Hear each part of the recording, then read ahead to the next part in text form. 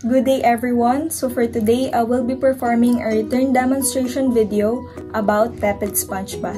The purpose of this procedure is to reduce the client's fever by promoting heat loss through conduct and evaporation of the patients with high temperature such as over 40 degrees Celsius. Before proceeding to the procedure, take note the contraindication.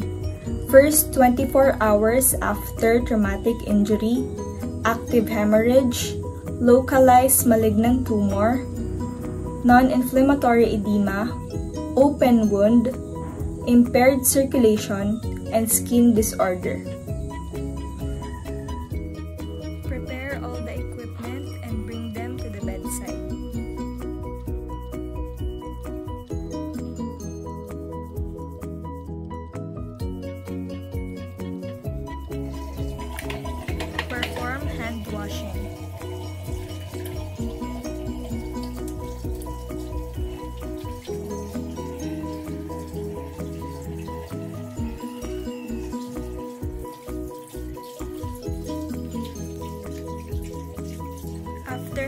Washing, identify the client and obtain the baseline data of the client for as the temperature, pulse rate, respiratory rate, and blood pressure.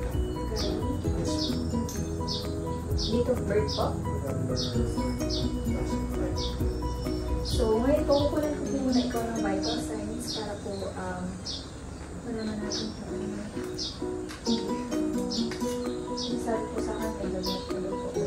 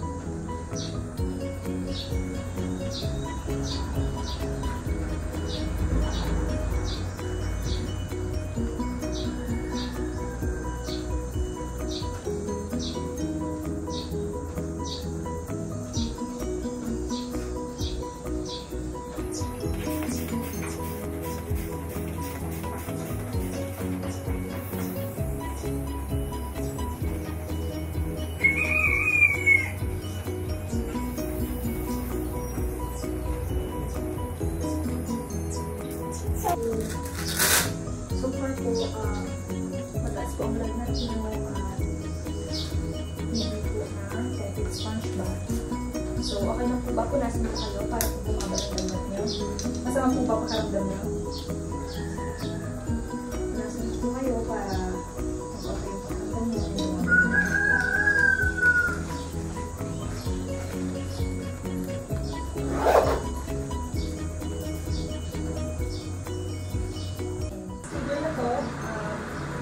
kita, tawag po ito natin sponge bath para po bumaba yung um, blood cut nito. And umalis po yung pakaramdam niyo. And relax ka lang po, sir. And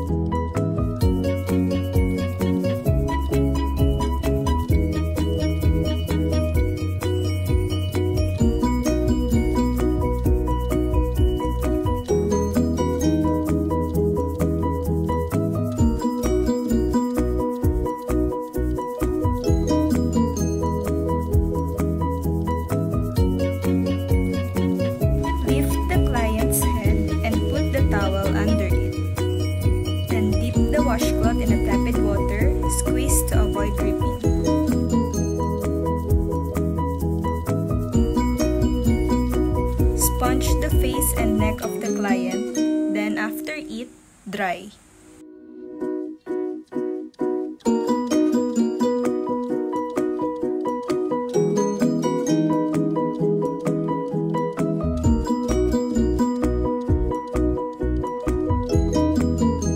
Wet the washcloth and squeeze to avoid dripping.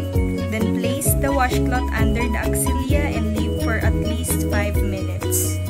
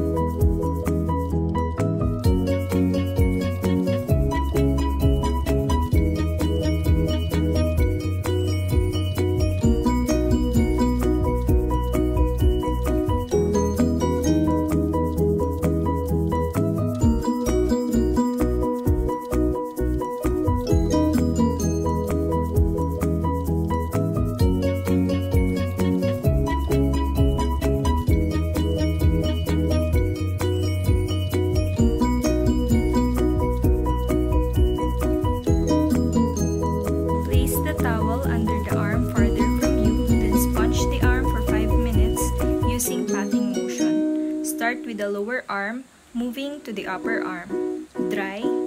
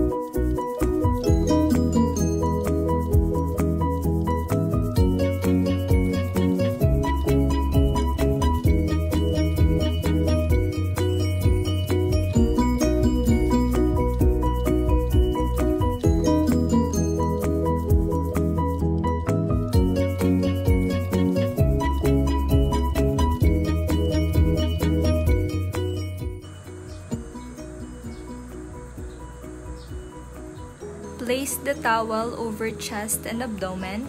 Sponge from the hypogastric area towards the heart in patting motion. Then after it, dry.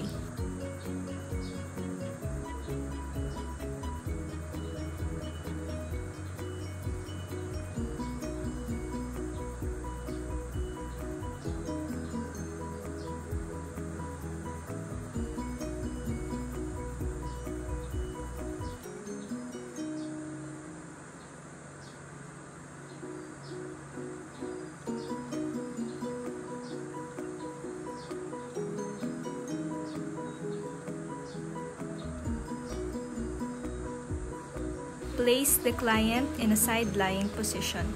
Place the towel over the back of the client and sponge the client's back from the nape to the buttocks for 5 minutes. Then after it, dry.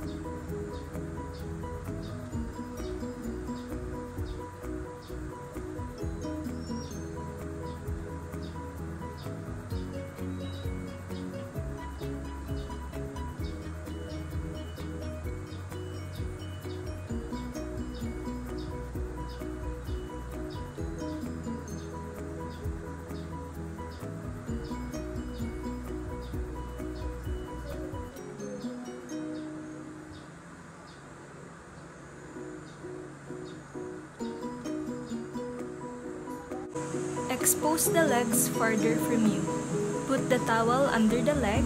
Sponge for 5 minutes, moving from the lower leg upward. Pat dry.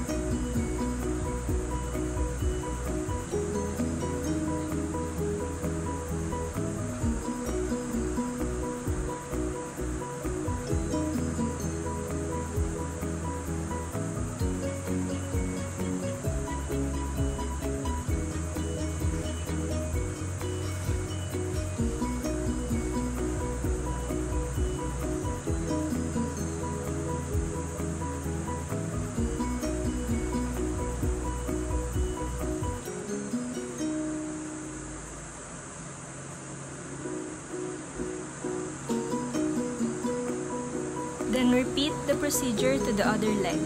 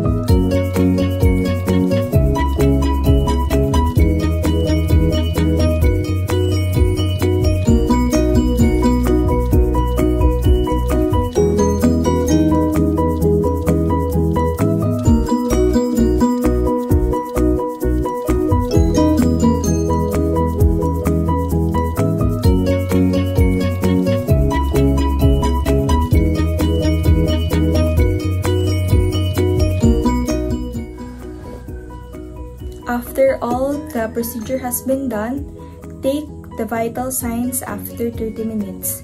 Ito po is para malaman natin kung meron bang improvement doon sa temperature ng patient or para malaman natin kung bumaba na o wala na siyang lagnat. Then after that, manifest neatness in the performed procedure.